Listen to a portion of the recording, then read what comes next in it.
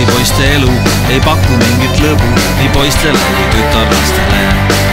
kooli minnes mõtlen ma, kuidas täna läbi saan, füüsikat ei oska ma, mata mulle tundmata. ei kooli ma ei lähe, kui papa-mamma lubaks, jääks koju teki alla.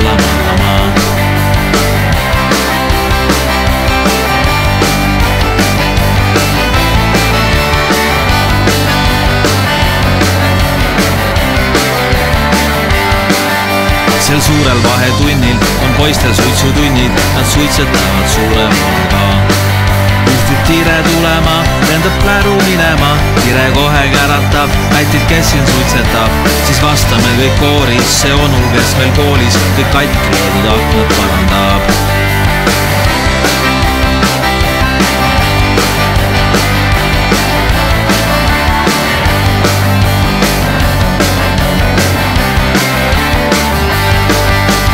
kooli lähen mina ja vastu tuleb tema, mul süda lausa koperdama lööb. sest et eilsest päevast ma juba käingi temaga, õhtul peale tunde ta pargis kohtub minuga, siis linnamüüri tornis ta tantsib koolivormis või hoopis ilma koolivormita mina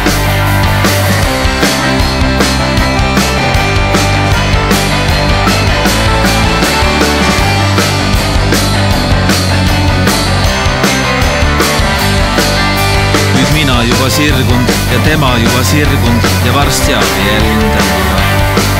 siis meil endal jõmpsikad sama laulu laulavad, mida omal ajal ma laulsin teiste poistega. ei kooli ma ei lähe, kui papa-mamma lubaks, jääks koju teki alla magama